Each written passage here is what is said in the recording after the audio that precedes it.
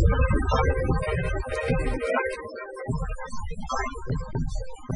you. All right, lesson 2.6, applying the trigonometric ratios. Um, this one's going to be a little bit shorter uh, lesson um, because really we have all the tools that we need already to do this section. Um, in the in the past questions, what they've done is they've kind of given you hints or even told you specifically what trigonometric ratio to use. Now you're going to have to use them without being told. Uh, in addition, we're also going to um, learn what it means to solve a triangle, and then we'll look at uh, maybe a couple difficult or a little bit more difficult questions on the on the back page here.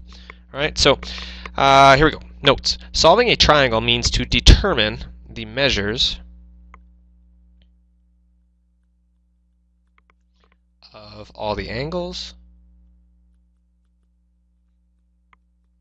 and um, the lengths of all the sides in the triangle. Any of the three trigonometric ratios we've learned can help us solve a right triangle. So whenever you see solve a right triangle, I just want you to think, I need to know everything. I need to know every angle that's not there and every side length that's not there. It's up to you how you want to go about doing it. Sometimes you might be able to use Pythagoras. Sometimes you can just use simple um, subtraction when you're looking for an angle. It's up to you. You just need to know everything. And so just to review our SOHCAHTOA again, when we're dealing with sine, we have, of course, the opposite over the hypotenuse cosine is the ka adjacent over hypotenuse, and tangent is the oa or the toa with the opposite over adjacent. So we have so ka toa. And if A is our reference angle, which it is here, we would have this being their opposite side. Uh, this is our adjacent and your hypotenuse. Okay. Let's try a couple examples. Um, this first one's really easy. Uh, I actually would in, would like you guys to try this one on your own. Um, so go ahead and do that, and then check uh, at the end. So when it says solve, remember you've got to look for both of those angles and then this side length. That's what we need to do. Okay. So uh, what do I want to find first? Let's find this missing angle uh, up here. So okay, let's see. Well, what ratio am I going to have to use to do that? Well, I'm going to have to use the tangent ratio because I need to, in order to find an angle, I have to use the two sides that I have, any two sides. Now if I had the hypotenuse, I could have used that, um, but uh, I don't right now, so I'm going to use the 11 and the 7. So I have the tangent of angle K is equal to my opposite 11 over my adjacent 7. So that tells me that K is going to be equal to the tangent inverse. Remember, you have to use the inverse when you're looking for angles. 11 over 7. And that tells me, get my calculator out here, That's tangent inverse of 11 over 7 for angle K is 57.5 degrees. Okay, to get angle N, it's not exactly rocket science, I would just take 180 degrees in any triangle minus the 9 degree angle that we have and then the angle that we just found and you will see that you get 32.5 degrees. So, so far now, since it's solved the triangle, I've found two out of the three things that I need to. Now the last one I need to do is Kn. Since you have the angles, um, you could use trigonometry. I'm just, for something different here, I'm going to use uh, Pythagoras, right? Just to show you guys that you have some flexibility. So that being my A, B, and then this side being my C, I'll have 7 squared plus 11 squared is equal to, I'll call this Kn squared.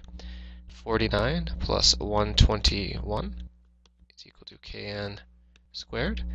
That gives me 170. and that means kn is equal to the square root of 170, which is to one decimal place.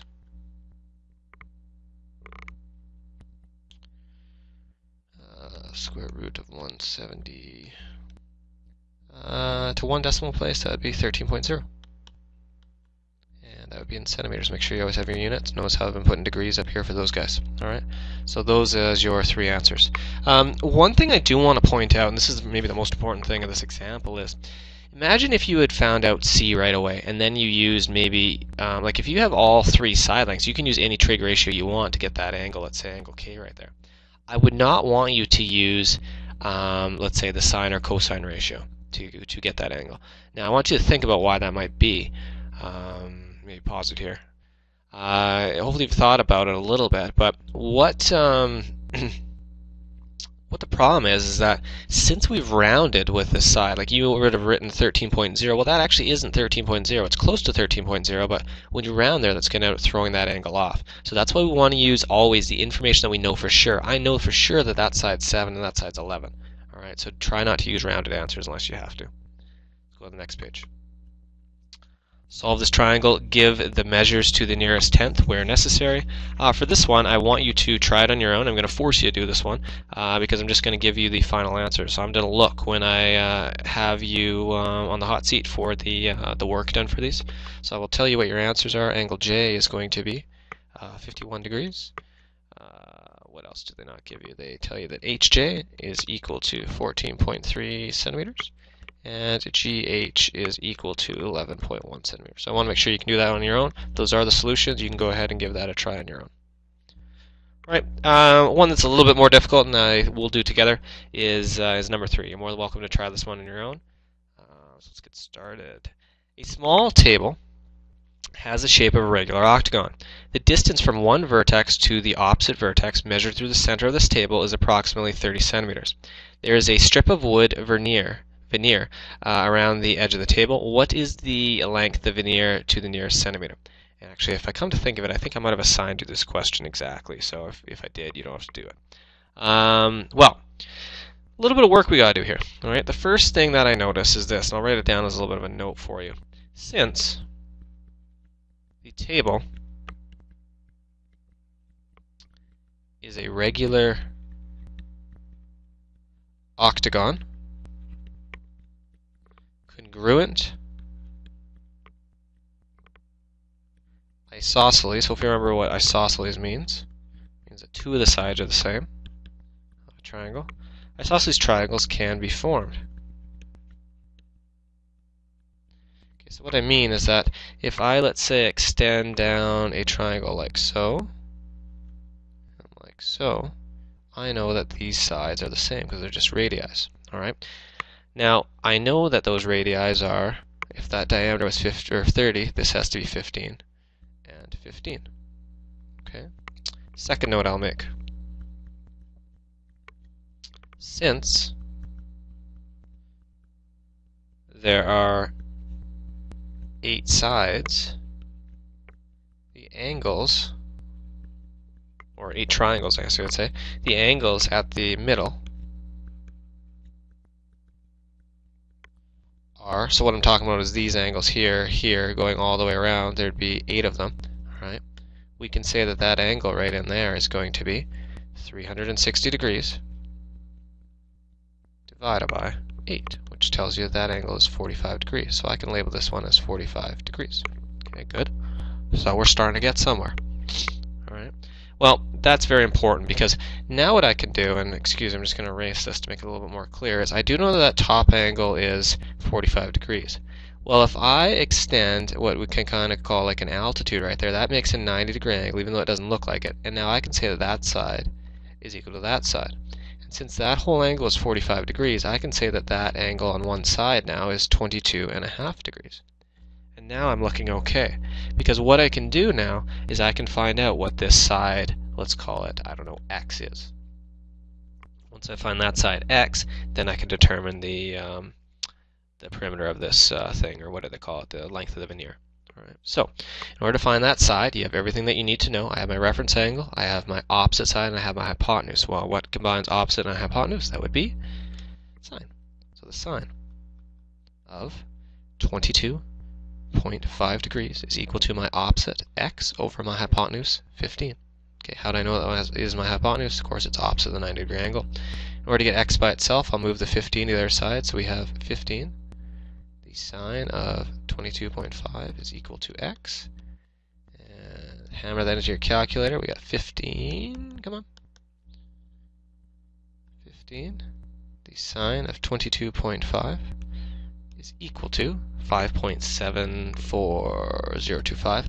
Now I'm going to write down a couple of those decimal places because I'm not done right now and I don't want to uh, I don't want to round 4025. That should be enough. All right, so we'll keep it like that. Now, if you recall, I found out what x is. Now, we know that there are eight sides. Alright, so I've only figured out half of a side.